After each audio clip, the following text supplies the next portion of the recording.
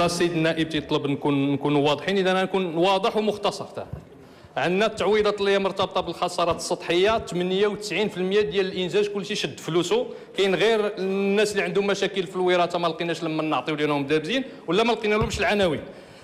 نزع الملكية ديال الأراضي. أراضي الجموع مكلفة بهم وزارة الداخلية الملفات اللي جابت لنا وزارة الداخلية كلهم تم التعويض ديالهم زائد 2% اللي هي مرتبطة بالمصاريف ديال التسيير أراضي ديال الخواص اللي هما في إطار المسطرة الحبية 60% كلهم تعوضوا بالنسبة لهذا الخط.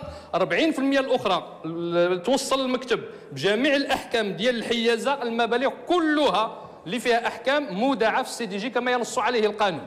الشيء الآخر راه خلاف مع القضاء من تصدر أحكام حنا نأديوه. شكرا. لا أنا أعطيت ال- المعطيات اللي هي آه، متوفرة من خلال بعض الاستثناءات اللي ممكن تكون. الاستثناءات في آه، جزء من الإشكالات اللي هي مرتبطة. أنا ما تنقولش ما كايناش. لكن التدقيق في مثل هذه الحالات التي ستكون معدودة إحنا ممكن آه، بالاطلاع على الملفات نحلوها في أقرب وقت. لكن النطاق ديال التعامل مع جميع الملفات أنا قلت لك.